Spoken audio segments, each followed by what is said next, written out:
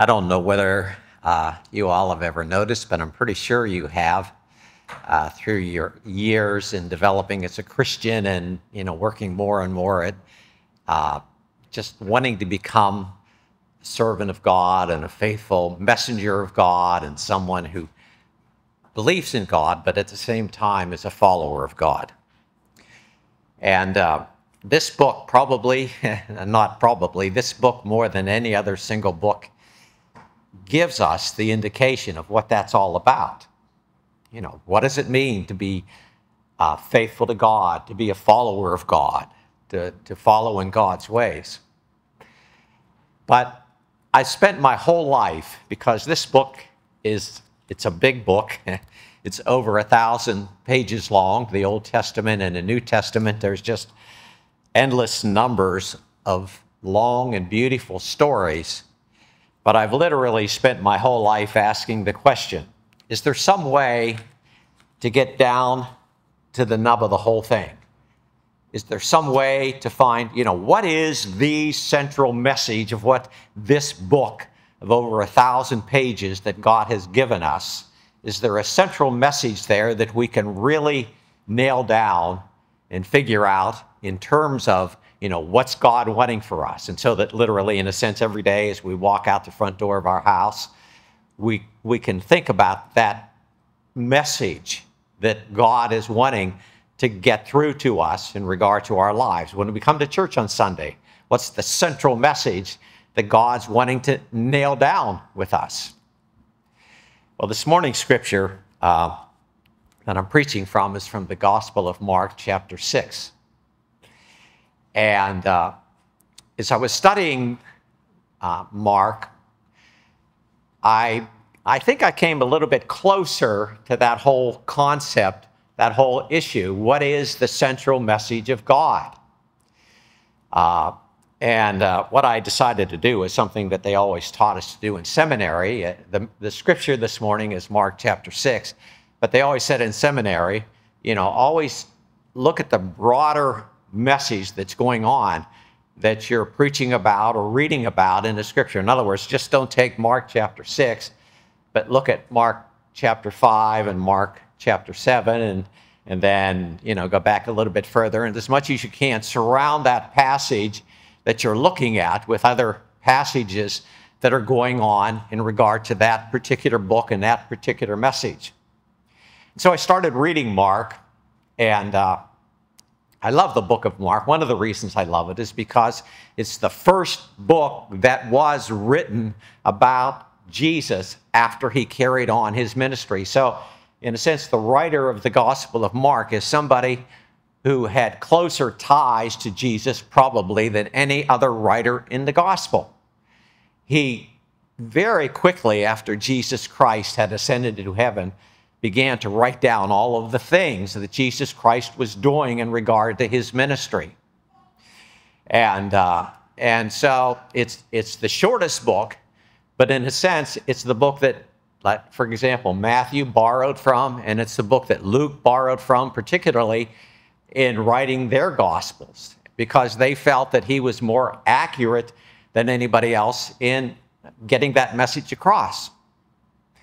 And um, and so I started to dig in. I, it had been a while, really, since I had been uh, studying seriously the Gospel of Mark. I've read it many times, but it had been, you know, a couple of years where I really uh, thought I'll, I'll just dig in and read carefully.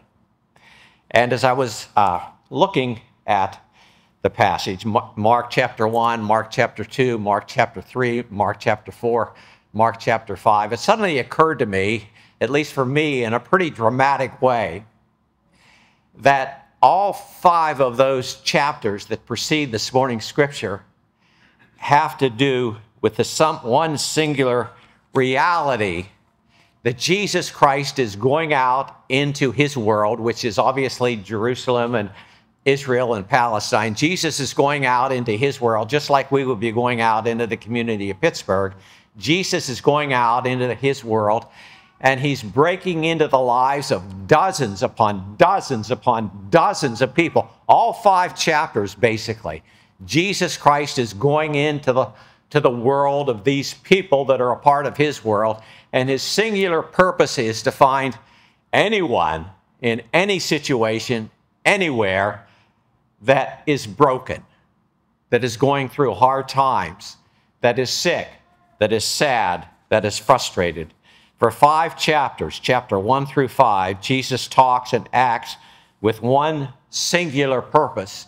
His purpose is to heal, his purpose is to love, his purpose is to help those that are going through their tough times in life. And Jesus just relentlessly pursues. He, I hate to use the word bombard because it's often uh, re- related to in a more negative way, but in this case, Jesus literally bombards the world of Israel with his kindness and his love. He passionately chases down everybody who other people are hating. And he says, I love you. And, and forget about that absurd hatred that those people are feeling. He'll pursue people who are blind and who haven't had any sight for years and years and years and bring them uh, vision and the ability again to see. He'll look for people that are crippled, those that are just not able in any sense to get around anywhere. Oftentimes, many people that were paralyzed. And he gives them instantaneously through his healing uh, the ability to again walk and just get around with all of his, their, their loved ones and friends. He'll find, he finds people that have these incurable diseases or these diseases that even just go on for decades and decades, and they're living in this state of despair.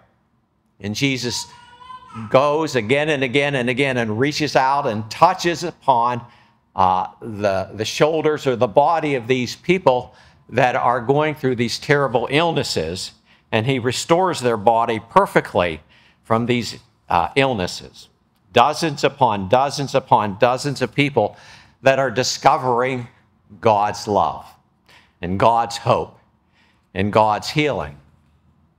I think it's also secondarily uh, worthwhile saying that what we see very, very little of from the words of Jesus and from his message during, the, during this period of time when he began his ministry, almost never during this uh, probably close to the first half of his ministry, do you hear words like, you ought to do this, you should do this, uh, you better obey me, uh, you better act like this or else. Jesus doesn't convey the message of the gospel of Jesus Christ, at least in this section of the gospel of Mark, in those words. And I think finally, maybe, uh, it would be to say simply this that more than any other single act or any other single sermon, Jesus came into the world in which he lived as God and as a representative of his Father God and as the representative of the Holy Spirit to bring kindness into the lives of people, into the lives of all people to bring kindness, to bring hope, to bring love, and to bring joy.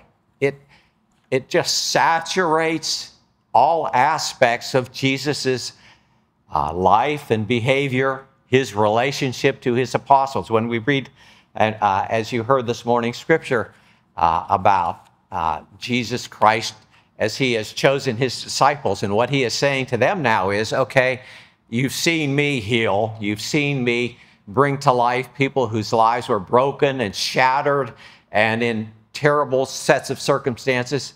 Now you go out and I empower you to bring life, to bring healing, to bring sight, to bring uh, the ability to walk, the ability to overcome hatred that they've that those people have experienced. And you now communicate that to the world, which is, I I would say, secondarily, that Jesus Christ invites us and desires us as well to show and to speak of that kindness to all of the people that we encounter in our world. We live in a world that has a lot of brokenness. Not, there's not a single time that we uh, drive down uh, the intersection, you know, just a couple of uh, maybe 50, 50 feet above where, you know, we worship, and there's a homeless person or a poor person or a desperate person who has a sign out. And basically, the sign says a lot of different things. I hurt, or I'm homeless, or I'm, I'm hungry. But that is spread across Pittsburgh, that is spread across the whole world, exactly in the same way that it was spread across Palestine, that it was spread across Israel, that it was spread across all of those areas of Galilee where Jesus did his preaching and Jesus Christ pursued, particularly. And singularly, the people that felt God was not getting, that they were not getting access to God's hope and message and love. Years ago, um, I hate to admit it, but now it's about 50 years ago, uh, but I was attending seminary. And obviously, I felt that call from God. I wanted to serve God. My dad was a minister for 40 years, 50 years. My brother was a minister for 40 years. And uh, I, I just felt just a distinct calling from God to be able to become a pastor. And, and I served for 40 years. And, um, and so I went to seminary and I loved it and I enjoyed it. I mean, I just had the greatest group of friends and, and fellows, and it was just a wonderfully kind experience. But about halfway through seminary, I, I'm not proud to admit it, but I got a little bit discouraged. I got pretty discouraged because um, we were having to just take dozens and dozens of courses on these very complicated theological and biblical concepts. And I mean, these books that we were reading were uh, not just, you know, about the Bible, but they were books that had seven, eight, nine syllable kind of words, you know, basically in this seminary setting uh, where we were trying to get a master's degree, uh, you know, trying to communicate uh, the meaning of the gospel of Jesus Christ. But about halfway through, I thought, you know, I'm, I'm getting burned out because these books are just uh, just so uh, intensely uh, complicated and intensely theological, you know, as they were, you know, saying to us. And uh, I, I honestly was thinking, I, maybe I'll take a, uh, maybe I'll take a year's break, or maybe I'll even just go off and do ministry without that so-called Master of Divinity degree and serve God, but not, you know, worry about that because the uh, intensity of those books were kind of wearing me down. And, but the, the next course I took in seminary was a guy by the name of Dr. Badorf. And he preached from his, his, his uh, course was on the New Testament, but it was also a course about what he called the social gospel. And I remember that day when I walked into his class. And Dr. Badorf you know, he pointed his finger at us, and I thought, uh-oh, you know, here's, here comes, you know, theology book number 719 in terms of having to read and think about and figure out all these little uh, complicated concepts. But he literally, but in, uh, I'm exaggerating, in a very kind way, he said, I want to let you know this morning that when you take my course, there is not one single book I'm going to ask you to read. There's no book. There's nothing that is going to come in terms of this theological concept or this uh, complicated theological set of realities. But he said, What I do want you to do is instead of books, I want you to find people. And your assignment is going to be to find people in our community that need to be seen and heard. You, you, I want you to find people in our community and spend a lot, a whole lot of time with those people, not just this week, not just next week, but for the next year or two years. I want you to find people that are going through uh, not particularly great times and to experience and to let them experience uh, your love and your kindness toward them. The very first thing we were asked to do in that class was to become for one weekend a homeless person. And he sent us out into the community he said, for one weekend, don't go into your dorm room. You go and you roam around the city of Dayton and you beg for food. You beg for uh, a bed to sleep in at night. It was uh, a pretty anxious weekend, but we all did it. And we all went around the, the city of Dayton and we roamed and we found some people that uh, were willing, and, and we found obviously shelters that were intended specifically for the homeless.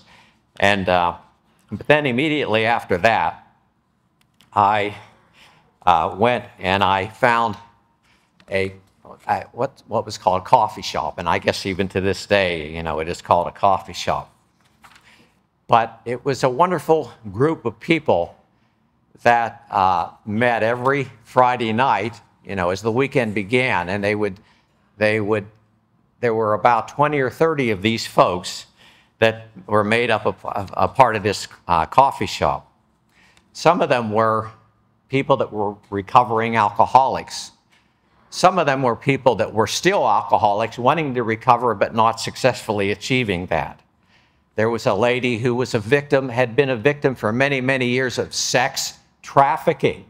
And she now was in a process of recovering. But even at one stage during those years, she had attempted suicide. She was so broken by her experience. There were people who were faithful members of a church. There were some people who had never, during their entire life, darkened the doors of a church. But the wonderful thing was, these were real people. And these were people that cared for each other. These were people that it was really easy for me to discover that I could care for, and these were people that were very willing in their way to be able to care for me. But they were all folks who could be described as almost identical to the hardships of life, just like the ones that Jesus encountered repeatedly in the Gospel of Mark. But it restored my sense of calling. I, I finally said to myself after this time together with these people in the coffee house where they would tell their struggles to me and they allowed me to tell about my struggles for them that I began to say again that powerful spark of the calling of the message of Jesus Christ has been revived in my soul. It was like a resurrection of my calling in which God said, I knew what you were needing and this is the way in which God is calling us. And in a sense, again, it was to reinforce everything that we find and we read about in the Gospel of Mark. Going out, reaching, and God manifesting his caring, kind, loving, understanding, forgiving spirit to the people of this world that are desperate to know that the starting point of God's ministry, the starting point of Jesus' ministry, the ending point of God and Jesus' ministry is kindness, it's caring, it's love, and it's grace. The second thing uh, I think that clarified for me the, the message of the gospel of Jesus Christ uh, is another a passage in the Bible in which Jesus Christ just very, I think, succinctly says to those that are following him, he said, unless you become like children, unless you become like children, you are not worthy of the kingdom of God. I'd like you to just kind of let that sink in for a little bit this morning. What does that really mean? Unless you are like little, unless you become like little children, you are not worthy of the kingdom of God. Well, I've raised two kids and I know what children are like. And you and I all know, you know, as we go out into the real world, you know, you go to the malls, you go walking up and down whatever street it is we live on, there are little kids. But what do you see when you see little kids more than anything else? More laughter than just about any other kind of behavior, more joking, kidding, uh, just kind of almost irrational happiness that goes on in regard to their life and in the way in which they communicate uh, how they convey the message of God. I think, in a way, it is Jesus Christ again saying to us what honestly is the central message that he is wanting to convey and to communicate to you and me in regard to what that gospel of Jesus Christ is about. It's about the reality that Jesus Christ likes sometimes more the silly things, more the jovial things, more the corny things than he likes the theological things, the complicated things of life. But more importantly, it is to say Jesus Christ likes us to be able to carry out into the world a, a kind of a joyfulness and a hopefulness that God um, would like to see us convey in terms of our real world. There's a true and a sort of a comical story that is told that was, uh, that was uh, shared to me by a pastor. And uh, this pastor had asked his confirmation class uh, to write a journal and reflecting. The confirmation class was asked to reflect upon their feelings about the worship services. They started attending it on a regular basis and then to write that down and to send and, and then to give the uh, pastor these, um, you know, these responses. You know, what reflect on your feelings about the worship service. Uh, one young man wrote, he said, "Dear Reverend, I like your sermon. I liked your sermon Sunday, especially when it was finished. Uh, love, Ralph, age 11. Dear, Rev- Dear Reverend, I like to go to church on Sunday because I don't have any choice. Love, Margaret. Dear Reverend, thank you for your sermon Sunday. I will write more when my mother explains to me what exactly you said. Uh, love, Justin. And dear Reverend, I think more people would come to church if you would move it to Disney World. Love, Lauren. Well, these kids are on to something, I think. Uh, I, I, I know we all understand that it, it, the essence of it is that there are times when, as we walk back into that real world, uh, the conflicting realities of our life can, can crash in on us pretty quickly. Maybe the hurtfulness that, that quietly, un, in an unspoken way, is going on in our life. But I really believe the single most and powerfully important thing that Jesus wants to say to you and to me this morning and to every single person and every single church, every single person that's not in church this morning is I care. That's the message. That's the truth. That's the power of God's word. And that is what God desires to get across to us in regard to our life as I say, I was a pastor for 40 years. My dad was a pastor for 40 years. My brother was a pastor, and we spent a lot of time talking back and forth. But I can tell you, I, you know, I, there's a lot of hurt that goes on that is often invisible. It's often quiet. It is often sad. Each of us brings this morning a lot of joy, but we also bring this morning certain elements of sadness that are there that are a part of the equation of life. And Jesus Christ is simply saying to us that in every sense, God just wants to break down the walls that whatever in whatever way would separate us from Jesus so that he so that he knows and we know that he comes to us this morning through his Holy Spirit in wanting to say, please, please open your heart to me so that I can reveal to you, first of all, most of all, every day, in every way, my kindness, my graciousness, my love. I always kind of find of enjoyment in those words that Jesus Christ uh, would say, you know, I, I, whenever people, you know, whenever some of the official legal authorities that were surrounding Jesus and criticizing him for the way in which he operated, he'd say, I, I came not for the religious people, I came for the sinners. I came for the hurting. I came for the broken. And so Jesus Christ is basically saying to us this morning there's nothing, there's nothing in all of the world that has the power to separate us from the love of Jesus Christ, our Lord, and his grace and his mercy. Let us pray. We thank you, God, for your gospel. We thank you for your kindness. We thank you for your message of hope and joy. And help us always, Jesus Christ, to be trusting that above all, what you want to say to us this morning are the words that you care for us, you love us, and you desire more than anything else and nothing else but to be kind to us in our lives. In Jesus' name we pray. Amen.